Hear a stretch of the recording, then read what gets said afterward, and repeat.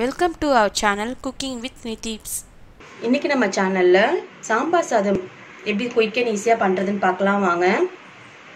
First ஒரு குக்கரில் ஒரு கப்பு அரிசிக்கு அரை கப்பு துவரம்பருப்பு நல்லா வாஷ் பண்ணி ஆஃப் அன் ஹவராக ஊற வச்சு வச்சுருக்கேன்.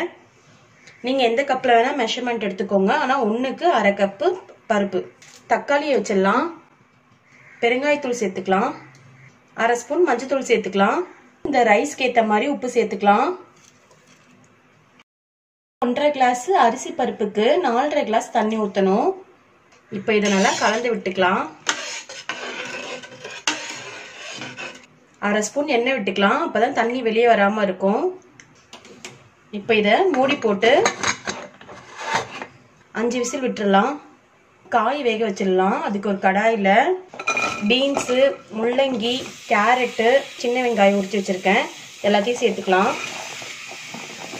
கொஞ்சம் வெங்காயம் மட்டும் நிறுத்தி வச்சுப்போம். லாஸ்ட்டாக தாளிக்க வேணும். கத்திரிக்காய் முருங்கைக்காய் உருளைக்கிழங்கு வாழைக்காய்.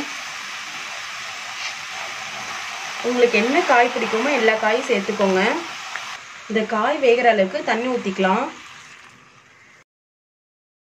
இதில் மஞ்சத்தூள் சேர்த்துக்கலாம். இதை கலந்து விட்டுக்கலாம்.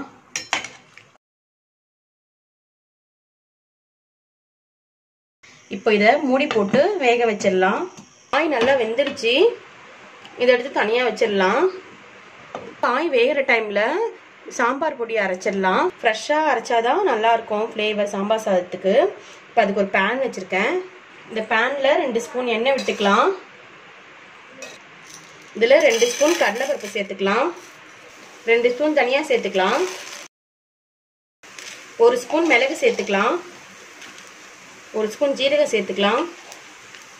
கால் ஸ்பூன் வெந்தயம் சேர்த்துக்கலாம். உங்கள் காரத்துக்கு ஏற்ற மாதிரி மிளகா சேர்த்துக்கோங்க. இந்த மிளகா மட்டும் தான் காரம். இதை நல்லா வறுத்துக்கலாம். இப்போ இது நல்லா வறுத்தாச்சு. இதை ஆற வச்சுட்டு நல்லா தண்ணி ஊற்றி பேஸ்ட் மாதிரி நல்லா அரைச்சிட்டு வந்துடலாம். காயெலாம் நல்லா வெந்துடுச்சு இந்த காய் கூட புளி தண்ணி சேர்த்துக்கலாம். இந்த காய்க்கு மட்டும் உப்பு சேர்த்துக்கலாம். பாருங்க நல்லா தண்ணி ஊற்றி அரைச்சிட்டு வந்துட்டேன். இந்த பேஸ்ட் வந்து இதில் போட்டுடலாம்.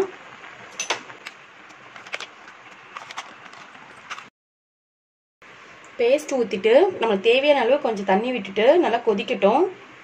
சாப்பாடு அஞ்சு விசில் வந்துருச்சு. திறந்து பார்ப்போம். வெந்திருக்கான்ட்டு. நல்லா வெந்திருக்கு. பாருங்க நல்லா கொதிக்குது. இந்த ஸ்டேஜில் நம்ம இதை இறக்கிட்டு இந்த சாப்பாடோட சேர்த்துடலாம்.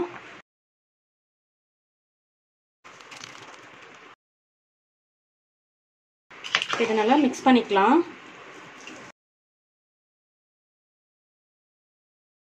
சாம்பார் சாதத்துக்கு தாளிப்பு கொடுத்துடலாம். ஒரு பேன் வச்சுருக்கேன்.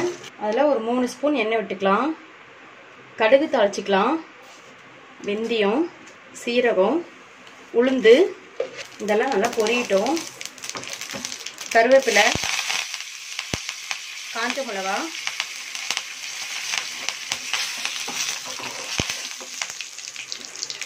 இப்போ இந்த சாம்பார் சாதத்தில் தாளிப்பு கொட்டிக்கலாம் இது மேலே கொத்தமல்லி தூவி விட்டுக்கலாம். வெல்லம் கடைசியாக சேர்த்துக்கலாம். நீங்கள் குழம்பு கொதிக்க வைக்கும் போதே வெல்லம் சேர்த்துக்கோங்க. நான் இப்போ லாஸ்ட்டாக சேர்க்குறேன். எல்லாம் ஒன்று சேர மிக்ஸ் பண்ணிக்கலாம். இப்போ தாளிக்கிற பேன்லேயே நெய் விட்டுக்கலாம். சின்ன வெங்காயம் சேர்த்துக்கலாம். சின்ன வெங்காயம் தாளிக்கும் போதே சேர்த்துக்கலாம். நான் மறந்துட்டேன் அதனால் தனியாக சேர்த்துக்கிறேன். இப்போ இது கூட முந்திரி சேர்த்துக்கலாம். இப்போ இதை நம்ம சாம்பார் சாதத்துலேயே சேர்த்துக்கலாம். சாம்பார் சாதம் ரெடி இப்போ சர்வ் பண்ணிடலாம்.